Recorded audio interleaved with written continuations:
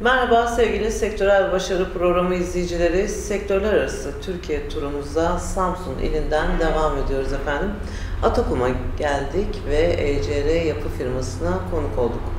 Yanımızda firma sahibi Sayın Ümit Çelik bulunuyor. Kendisi şimdi bizlere çalışmaları hakkında bilgiler verecek. Merhaba.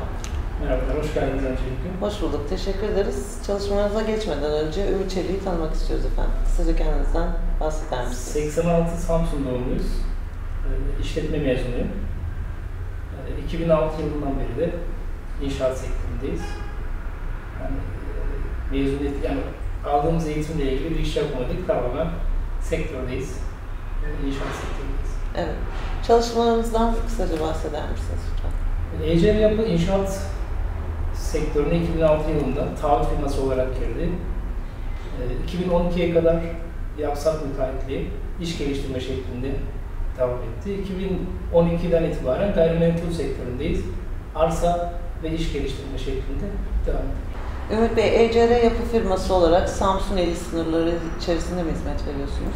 Samsun ve İstanbul'dayız. 2015 itibariyle İstanbul, Kadıköy ve Beylikdüzü'nde ofislerimiz var. Ee, İstanbul'da sadece iş geliştirme yapıyoruz. Samsun'da inşaatlarımız var. Ee, Kadıköy'de özellikle işte kentsel dönüşümle ilgili e, birçok firmaya iş geliştirme, arsa geliştirme şeklinde hizmet ediyoruz. E, tercih edilme sebebinizi neye bağlıyorsunuz? En çok çalışmanızda nelere dikkat ediyorsunuz? Anahtar teslim proje şeklinde çalışıyoruz. Ee, hani muhataplarımız, müşterilerimiz e, geldiklerinde profesyonel bir başkasına ihtiyaç duymadan işlerini bizim üzerimizden halletmiş oluyor. Evet. E, peki taahhüt ettiğiniz günde e, işi tamamlıyor musunuz? Öncesinde. Evet. E, profesyonel bir ekiple çalışıyorsunuz. Evet. Başta siz olmak Evet. üzere. Profesyonel. Kaç kişiyle hizmet veriyorsunuz? Teknik 8 kişilik yani ofis içinde işte mimar mühendislerden oluşan e, 8 kişilik bir ekibimiz var. Onun dışında e, inşaat ve gayrimenkulde sayısız çok. Evet. Sektörde sıkıntılar var mı Ümit Bey? Varsa çözümleri neler? Yani sektörde sıkıntılar var mı? Evet. E, özellikle gayrimenkulle ilgili yani e, sıkıntılar şu profesyonellikten uzak işte e, hani kolay meslek olarak görmesi işte emlak e, böyle bir şey var. E, Çözüm de tabii ki eğitim. Hani müşterilerin bunu seçmesi gerekiyor. Yani profesyonel hizmet almak. İşte doğru kişiyle çalışıp çalışmayacağına karar vermesi. Evet. Ee, Samsun gelişen ve değişen bir bölge, il. Ee, ve bu anlamda değerli yatırımcılar e, Samsun'a neden yatırım yapmalılar size göre?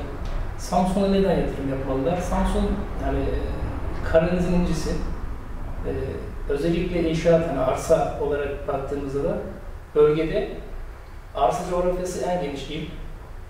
Ee, haliyle e, işte bölgedeki bir Trabzon, Rize gibi e, hani dağınık yapılaşma yerine toplu istenen projeyi ortaya konulabilecek yer, bir şehir. Ee, üniversitenin olması, sahip, e, sanayinin gelişmiş olması, hani istenen seviyede olmasa da işte Samsun'un cazibet merkezi. Hızlı değeri de yükseliyor değil mi? Kesinlikle yani e, Atakum özellikle Samsun Atakum inşaat hızı bakımından e, Türkiye sıralamasında. Atakum yıllık ortalama 10 bin göç alan bir yer. Hı hı. E, haliyle bu da sektörü ciddi tetikliyor. O zaman e, birikimlerini değerlendirmek isteyen yatırımcıları Samsun'a Kesinlikle, bekliyoruz. Kesinlikle Samsun'a Ee, bekliyoruz. ECR Yapı firması da sizlere bu konuda e, yardımcı ve destek olacaktır. Kesinlikle. Ee, peki efendim yakın gelecekteki hedefleriniz ve projeleriniz neler? Burada başlamayı düşündüğümüz yani şu an proje aşamasında olan birkaç e, projemiz var Samsun için. E, İstanbul'da devam eden, e, hani firma ismini vermeyelim, yine e, büyük bir firmanın iş geliştirmesini yapıyoruz. Evet. Onu bitirdikten sonra yine biz yatırımlarımızı Samsun üzerinden e, işte nasıl söyleyeyim, hani butik müteahhitçiliğin dışında Hı hı. e, proje bazlı birkaç e, inşaat. İnşallah size başarılı projelerinizin ederim.